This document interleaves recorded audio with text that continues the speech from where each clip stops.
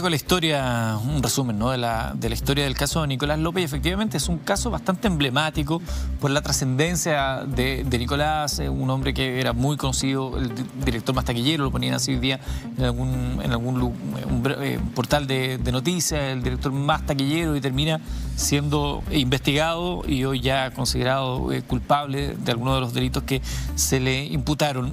Paola, también quisiera conocer desde tu perspectiva, eh, ¿Qué te parece lo que se dio a conocer el día de hoy finalmente?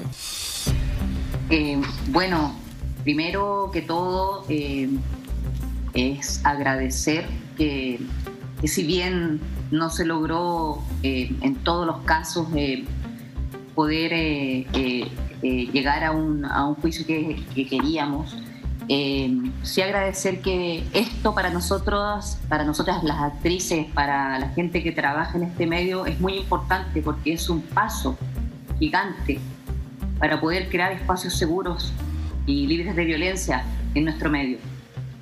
Eh, para nosotras fue súper importante eh, contener a las compañeras, apoyarlas, que se les escuchara y decir fuerte y claro que no están solas porque sabemos cómo es este medio de la televisión donde hay un, juego de poderes, etcétera.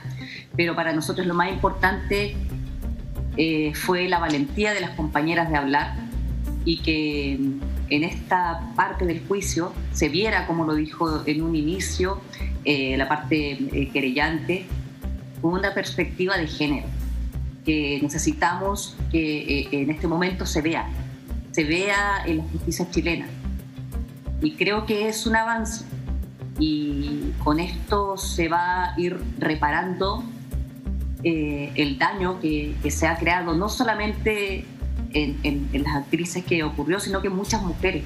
Esa carta que, nombraban en, el, el, ahora en, el reportaje fue para nosotras muy importante porque nos dimos cuenta que no estábamos solas las actrices, sino que estábamos acompañadas de mujeres no solamente del, área, del, área artística, sino de, todas las mujeres, de las trabajadoras, de las disidencias, que ya no van a aguantar, que ya no van a permitir que, nuestros espacios de intimidad, que, nuestra, que nuestros espacios seguros sean violados, que tenemos las mismas, los mismos derechos, todos a poder trabajar libres y Paola, Paola, eh, entendiendo que aquí estamos hablando de hechos particularmente graves, pero ¿podrías tú decir que la situación de las mujeres en el mundo de la televisión, del espectáculo, esta situación era más común de lo que parece?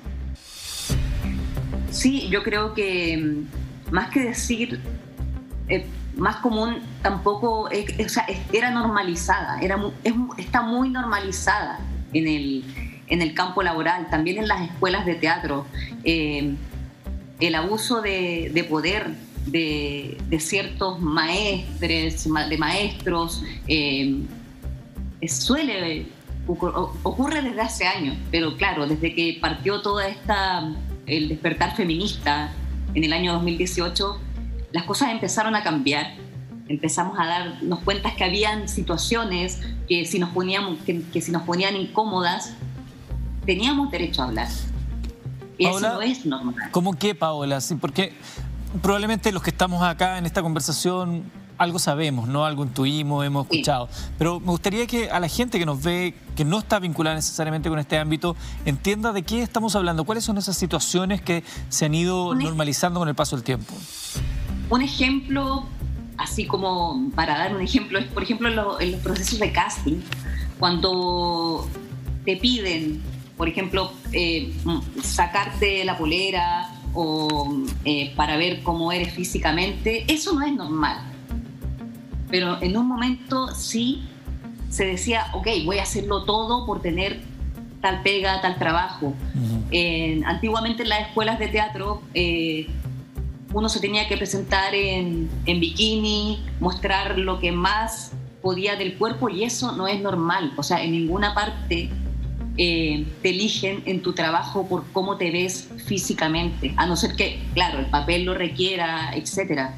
Pero no podemos, eh, no podemos seguir en eso mismo, de, que tiene que ver con, también con la, este cuerpo hegemónico, bello, etcétera, que es otro tema. Pero es un ejemplo porque yo me puedo sentir violentada ah, por tener que mostrar mi cuerpo.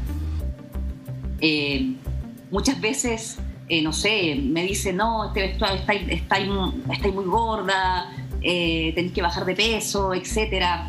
Eh, pero son cosas que a uno la violentan. ocurren cosas en los sets también, por ejemplo, que de repente a un actor,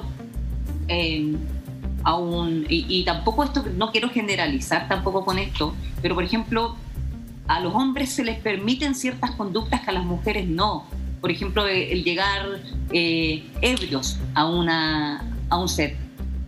Se toma como camaradería mucho, y, o los toqueteos y todo. Yo no los aceptaba porque hay un abuso de poder. Pero también estaba normalizado y es cosa que tenemos que cambiarlo.